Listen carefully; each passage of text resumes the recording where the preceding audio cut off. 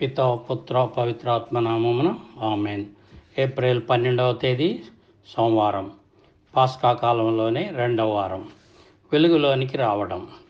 అపోస్తుల కార్యాలు నాలుగో అధ్యాయం ఇరవై మూడవ వచనం నుండి. యోహాను శుభవార్త మూడో అధ్యాయం ఒకటో వచనం నుంచి ఎనిమిదవ వచనం. పరిచయుడైనటువంటి ఒక మంచి యూదుడు రాత్రివేళ యేసును గురించి గురువుగా బోధకుడుగా గుర్తించి దేవుడు నీ ఎందున్నాడు కాబట్టే ఈ మహత్తర అద్భుత కార్యాలు చేస్తున్నారు. అనడంలో సంభాషణ ప్రారంభమవుతుంది. నికోదేముస్ అనేటటువంటి వారు ఒక పరిచయుడు. యూదుల పరిపాలనా విభాగంలో అధిపతి. మొదటిసారి ఈ సంభాషణ జరిగింది. రెండవసారి ఏమో సానెడ్రీన్ అనేటటువంటి వారి యొక్క అధికార మందిరంలో యేసును గురించి విచారించకుండా మరణదండన భావ్యం కాదు అని అంటాడు. మూడవసారి క్రీస్తుని భూస్థాపన క్రమంలో సహాయపడతాడు. అంటే మూడుసార్లు ఆయన ప్రస్తావన వచ్చింది. పునీత యోహాను గారు చీకటి వెలుగు అనే పదాలతో ఈ సువిశేషం వ్రాస్తున్నారు. యోహాను గారు సువిశేషంలో జోదాసు ప్రభుని పట్టించడానికి రాత్రి వేళ వెళ్తాడు అని వ్రాయడం ఒక సూచనతో కూడిన అర్థం ఉన్నది. ఈనాటి సువార్తలో యోహాను గారు వ్రాస్తున్నారు నికోదేముస్ రాత్రివేళ యేసును సందర్శించడం కూడా ఒక ప్రత్యేకమైన అర్థం ఇమిడి ఉన్నది. పునీత అగస్తీను గారు ఈ నికోదేముసు గురించి రాత్రివేళ ప్రభు దగ్గరకు వస్తాడు. ఎందుకంటే నికోదేముస్ తిరిగి పూర్తిగా నూతన జన్మ ఎత్తాల్సి ఉంది కాబట్టి నికోదేమోస్ ఇంకా పూర్తిగా విశ్వాస వెలుగులోకి రాలేదు. నికోదేము క్రీస్తుని దర్శించి ప్రశ్నించడం ద్వారా చీకటి పోయి వెలుగులోకి వస్తాడు. అతని విశ్వాసం బలపరచుకోవడానికి యేసుప్రభు దగ్గరికి వెళ్ళాడు. నికోదేమునకు ఈ క్రీస్తే మెస్సయ్య అని దేవుడని ఆయన దేవుని నుండి వచ్చిన బోధకుడని ఖచ్చితంగా గుర్తించాడు. అందుకే నికోదేముడు పునీతుడు అని తిరుసభ పునీత పట్టం కట్టింది. మిగతా మత నాయకులంతా ఇతను కాక ఇతను క్రీస్తుకు చేదోడు వాదోడుగా ఉండి ధైర్యంగా తల ఎత్తుకొని నిలబడ్డాడు. అందుకు అతన్ని అందరూ హేళన చేశారు దూషించారు అవమానించారు. కానీ నికోదేముస్ గారు క్రీస్తులో చాలా ప్రత్యేకతలు ఉన్నాయని గుర్తించారు.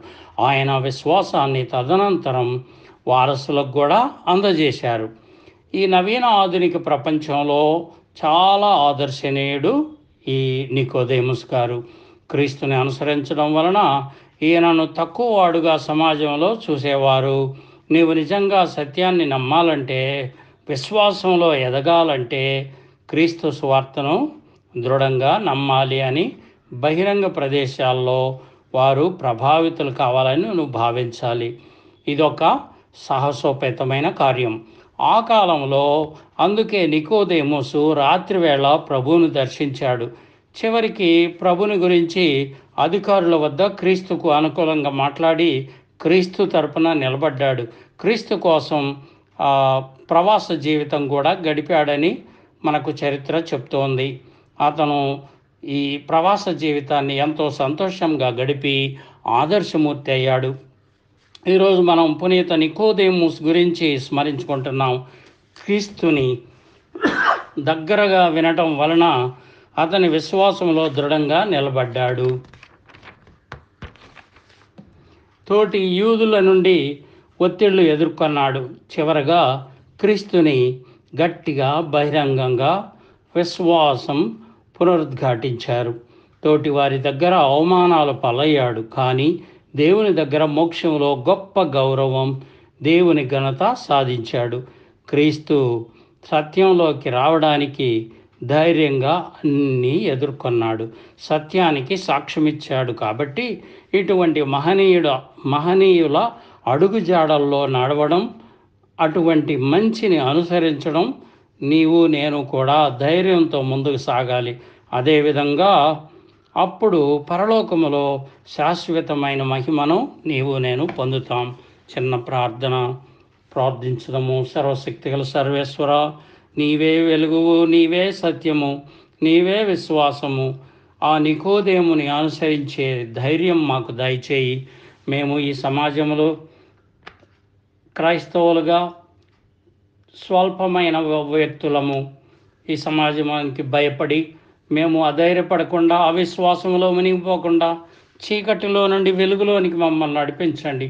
ఆ నికోదేము గారు పవిత్రాత్మ ప్రేమాగ్ని జ్వాలలతో కూడిన ధైర్య సాహసోపేతమైన కార్యాలు ఎలా చేశాడు?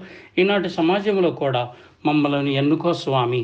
మమ్మలను మీ పరికరాలుగా ఉపయోగించుకొని మేము మేము పొందిన ఈ దర్శనము మేము విన్న ఈ వాక్యము మా మనసులను తెరచి వెలుగును చూసి ఆ వెలుగునే లోకానికి పరిచయం చేసేటటువంటి వ్యక్తులుగా మమ్మల్ని మీరు మీ సువార్తలో వాడుకోనండి.